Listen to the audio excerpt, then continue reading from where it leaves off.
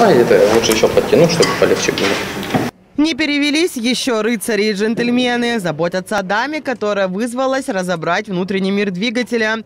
Первокурсница Дарья Курдюмова – единственная девушка, которая не побоялась запачкать руки и сразиться с мужчинами за звание крутого водилы 2022. На удивление преподавателей в своей команде отвечает за рассухаривание клапанов. С пружинами и разборкой деталей справилась за 8 минут 16 секунд. При среднем времени соперников – 15 минут.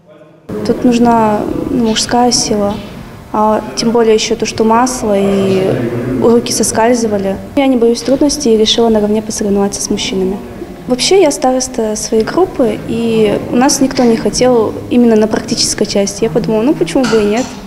Вторым этапом определяли знатоков ПДД. На него 10 команд из трех человек, 8 студенты вышки и 2 ученики колледжа выдвинули по одному теоретику. Третий человек в команде отвечал за номинацию «Водитель от Бога». Студента четвертого курса Алексея Коробейникова поучаствовать пригласили друзья.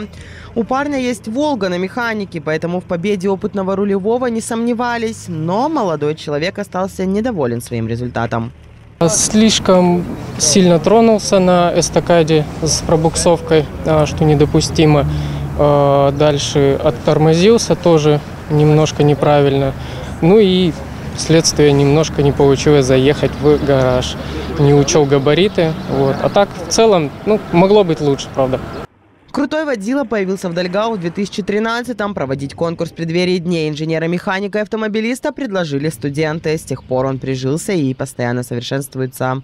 Уже вот, наверное, второй или третий год мы проводим командным его, этот конкурс. И у каждого члена команды определенная э, работа своя на определенном этапе, как вот было и в этом году. И затем команда, это новшество этого года, вся команда выполняет еще, отвечает на ряд вопросов вместе, и потом подводится общий итог.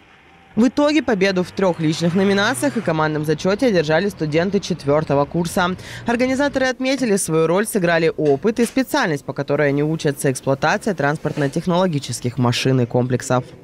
Кристина Слепцова, Екатерина Борисова, Максим Яценко. Программа «Город».